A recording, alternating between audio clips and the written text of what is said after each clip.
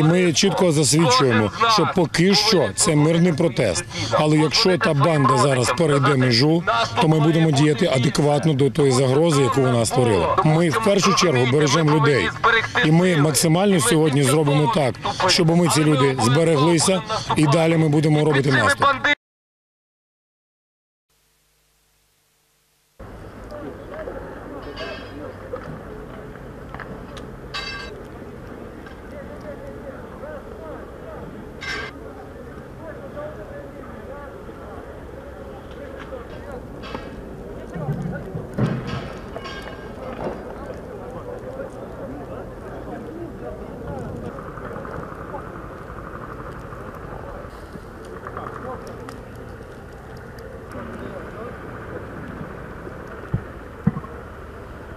А ми тут